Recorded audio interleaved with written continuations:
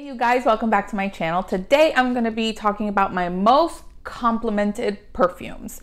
Uh, but first, if you're new here, welcome. My name is Maite. I review fragrances and products. I love all things that smell good. If you haven't done so already, please subscribe to my channel, give this video a big thumbs up, and click the little notification bell so you can be notified anytime I upload a new video. I upload every Monday and Wednesday at 4. If you are wearing fragrances for the sole purpose of getting compliments, I think you're going to be a little bit disappointed. I feel like it's a very personal experience from when you spray it to how it develops. These are my fragrances that do have a lot of projection and sillage and you know my coworkers have noticed. So you know, it's not like I'm sitting here, you know, batting people away.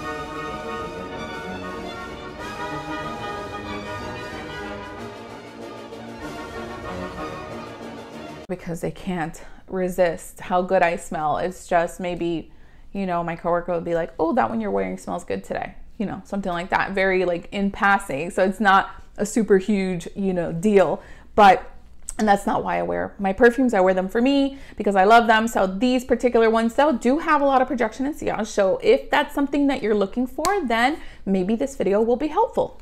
First up, Pavillon Rouge by Jovoy Paris. Now, I just let me get the negatives out of the way first. This bottle design is so uncomfortable for my for my hands. I think if you have big hands, maybe, but just the way I have to like spray it, I have to hold it like this and like spray it with my middle finger.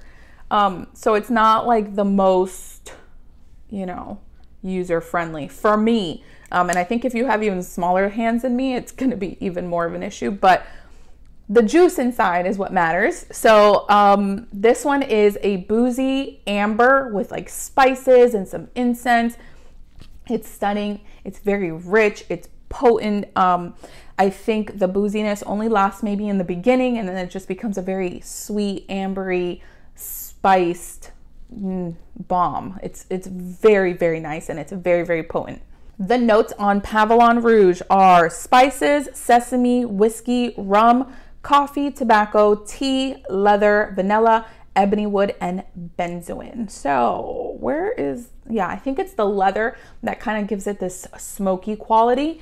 Um, and yeah, lasts from the minute I put it on to the minute I take it off, and it's just very, very intoxicating. So, so alluring, and people have noticed, which is the whole point of this video. People have noticed how amazing this is. So, if you want to smell like a boozy, ambery bomb, then check out Pavillon Rouge. You know, I'm using kind of the women, I work with a bunch of women uh, when I do go into the office, which is only once a week at this point because, you know, COVID.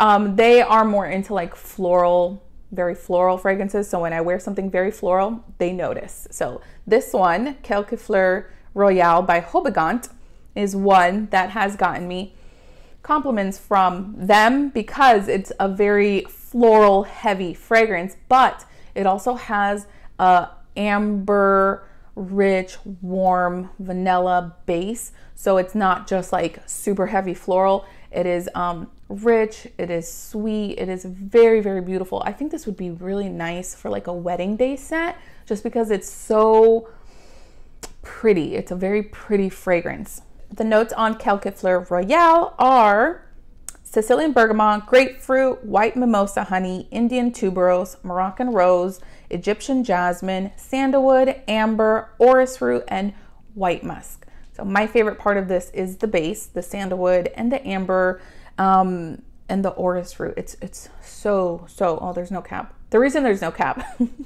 is because it's ugly. It's so ugly. It's just like I'll put a picture somewhere. It's like a plastic big purple thing and I don't like it. But um, yeah, every time I wear it, I'm just like, oh, yeah, I remember why I love this. Beautiful, beautiful floral. It's not too heavy. It just makes makes you smell very feminine and um, it smells expensive. It smells like you know confidence. It's so so beautiful, and I love the um, kind of frosted embossed bottle as well. So that's Quelques Fleurs Royale by Houbigant. Next up, um, this one you have to be very, very careful of because you will suffocate if you spray too much. I would say two, three sprays max, not on your clothes. This is Mancera Back to Black. Now, not back to black, black to black, sorry. It is a atomic bomb. It's like an explosion of rose and spices and oud and it's just extremely suffocating if you spray too much. Potent is not even the word. It's just nuclear. Nuclear. It is a rose oud combination. It is more rose heavy and there is a lot of spices. The dry down is very, very nice on this. The opening, again, a little too suffocating for me. I don't reach for this one that often. Um, but my coworkers have noticed um, because it has a lot of projection and sillage. So, you know, after that hour it took for it to dry down and me not suffocate, um, it does have a very pretty dry down that will maybe get you some attention. So the notes on Black to Black are bergamot, saffron, cloves, rose, jasmine, patchouli leaf, amber, leather, white musk, sandalwood, and oud. Very nice combination of rose oud. Just if you are sensitive to fragrances. If you have a sensitive nose, then you may want to stay away from this. But if you do want to just, you know, make your presence known with your perfume, then maybe Mancera Black to Black will be for you. All right, next up, you guys. Now, this is not just for men. I wear this one. I love it. Uh, my coworkers did say I smelled like a man, but that's because they just have a preconceived notion of what a men's and women's fragrance is supposed to be. So I'm trying to like cut that out. It's okay if you're a woman and you wear Chanel, Bleu de Chanel Parfum. It smells amazing. It's oh, everything. It's everything, especially the dry down. Um, I this is my favorite of the Bleu de Chanel collection um, because it has that very warm, rich base. Um, it's the same kind of citrus, lavender, kind of fruity top notes with I think there's pineapple in here, but the base has um, sandalwood and um, amber and I think vetiver as well. I think the ISO E Super is what makes this kind of project the way it does. The notes on Bleu de Chanel Parfum are lemon, lavender, mint, artemisia, bergamot, geranium. Let me see what else. Uh, there's green notes, pineapple, cedarwood, sandalwood, amberwood, ISO E Super, and tonka bean. Uh, yeah, you guys, very sexy perfume on a man or a woman, especially um, if you are less into like very floral fragrances, if you're a woman, I would definitely check out uh, Bleu de Chanel Parfum. I love it. I really love this. I love from the very like bright citrusy dry um, opening to the warm, mm, yummy dry down, just very rich. Um, lasts all day long as well. Lasts from when you put it on to when you take it off. It's very, all of these are very long lasting. And I think that's what makes them compliment getters. So, Bleu de Chanel Parfum. Mm. Next up, and one of the prettiest bottles in my collection is Xerjoff More Than Words. I mean, stunning. It looks expensive. It is a little bit expensive, not the most expensive, but it is, you know, pricey um, for what you get, but so beautiful. Just like, I don't know if you can tell the blue glass oh, it's beautiful. I just admire it every time I'm going to wear it. Um, the notes are sketchy. I can never find like a full list of notes, um, but to me, it's a fruity rose oud or floral fruity oud with um, spices and maybe patchouli. Um, it is earthy, it's rich, it's intoxicating, it's a monster. It is a monster. Um, it's a little bit spicy in the dry down, which I don't normally like, but it's not overly, it doesn't have like too much of that kind of peppery spice, but it does have a little bit more so on my husband when he wears it, not so much on me, which is why I like it. Um, but yes, it projects like crazy. Um, it, it's it's really beautiful, you guys. I don't have many from Xerjoff. I've smelled a few from Xerjoff, and I wasn't too impressed, but this is a winner. I'm gonna try to like decipher these uh, notes. This is from Luckyscent. Sweet fruit, uh, smoky labdanum, woods, oud benzoin, mm, what else? Frankincense. Yeah, mm-hmm. I can definitely see that. And that's it. Yeah, I'm pretty sure um, there's some rose in here, uh, not just like fruit. I, there's definitely rose in here. I, I, I feel like there is. So I don't know if you guys know the full kind of note breakdown. Let me know in the comments. Um, but monster and definitely will get you compliments if you're around people who appreciate, you know, somebody smelling good. You're gonna smell amazing. This is Xerjoff More Than Words. Next up, and my coworkers went crazy over this one. I think because it's a very nostalgic scent. It smells like Christmas to me. This one's Rentless by Lush. I even had one of my coworkers say she wanted uh, me to find her a bottle. Um, so definitely will please many noses, I think. Because, yeah, it smells like Christmas. It smells like Christmas in a bottle. Um, this one, the main notes are patchouli, grapefruit, and tonka. Definitely smells like there's spices in here. It smells like a wreath, like pine needles. It's beautiful, really beautiful. Lasts a long time. Great projection.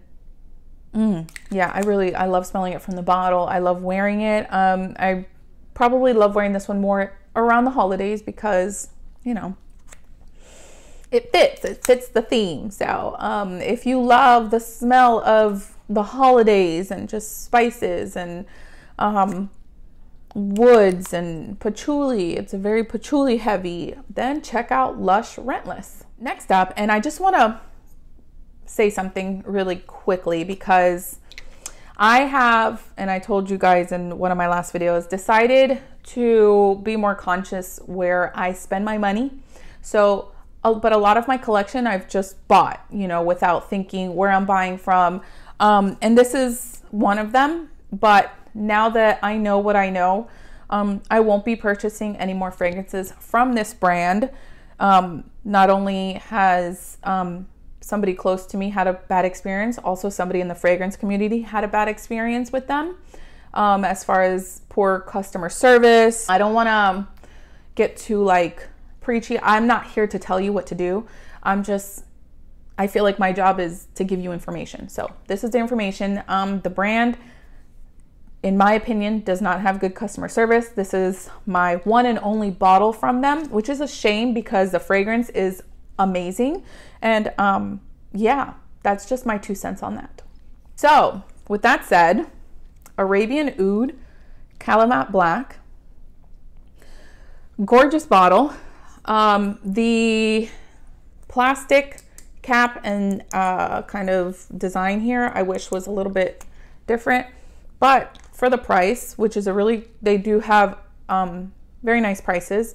Um, I think, you know, it's a nice fragrance. Again, unfortunate that the brand doesn't align with uh, my beliefs, but oh, it is delicious. It smells like candy, like oud candy. It's sweet. It's oh, just really, really yummy. Just really yummy. The notes on Kalemat Black are olibanum, basil, vanilla, agarwood, which is oud, and amber. So delicious. A delicious, I would call it almost a gourmand. Like it's wants to be a gourmand, but it's it smells expensive. It smells rich and warm and it projects like crazy. It lasts all day. It's not super in your face, um, but you you don't need to overspray this. Um, I think it'd be easy to overspray just because it comes off a little bit, you know, light, but it's not. It is a beast. This is a um, potent fragrance without being suffocating. So I really am enjoying this one. Um, if you have any experiences with Arabian Oud, let me know in the comments. I'd love to know what you think about this brand. Um, I have a little bit of, of bad taste in my mouth after, you know, I've seen what I've seen. But I want to leave this on a positive note. The fragrance is excellent. Um, the price is excellent. But unfortunately, that happened and won't be purchasing from them again. But this is definitely one that would get you compliments. This is Kalemat Black. Last, but certainly not least, which I feel like I always say, Coco Mademoiselle Eau de Parfum Intense. Intense. I do not like the original Coco Mademoiselle. Um, it's a little bit too floral and citrusy, and um, yeah, it's just not not my jam. But the intense version with amber and tonka and just amped up patchouli is way more my style. It is absolutely amazing. It's warm, it's addictive, it lasts all day, it projects. Um, it is a beautiful take on a floral. If you're not into super heavy florals, then I would definitely check out the intense version of Coco Mademoiselle. It has the signature Chanel DNA with that very powdery, almost cosmetic quality. It's, oh, I love it so much. And when I wear it, people love it. Like my husband always says, what are you wearing? Every time I put it on, you can smell it. It's very potent. Um, I do spray a lot. I'm a, I, I feel like I'm an oversprayer, but I'm not an oversprayer compared to like curly fragrance. I will link her videos because her and her mother are fabulous. They have the most amazing spray routines. Um, and if you have not checked them out, then you definitely need to. It's very entertaining how they spray, like literally hundreds of sprays, like in their hair. I love it. I love it. If you are an oversprayer and you would like to watch another oversprayer, then definitely check her out. I will leave her channel link down below. And she's absolutely stunning as well, by the way. I just want to mention that. Gorgeous, gorgeous human being. The notes on Coco Mademoiselle are very similar to the original um, version, but the intense version um, has on top of like the citruses and the florals, um, I think the top notes are orange, bergamot, and um, lemon, and then it has rose and jasmine and some fruity notes as well. Um, but they add or they amp up the patchouli and they add amber and tonka. So if that sounds like more your speed, that warm, very, you know, rich base, mm. very opulent, very, very opulent fragrance. Um, it smells very fancy I love wearing this one to the office. I would wear this one on a fancy date or a party, which we're not having any of because we're social distancing, but um, it is very nice. It makes me feel very feminine. It makes me feel like I am large and in charge. So, love this one. That is Coco Mademoiselle Intense by Chanel. All right, you guys, that's it. Those are my most complimented fragrances can't i'm not going to tell you how many compliments i got because literally maybe i'll i've been complimented like once each time i've worn this fragrance but they're the only fragrances that have ever garnered me any kind of you know attention.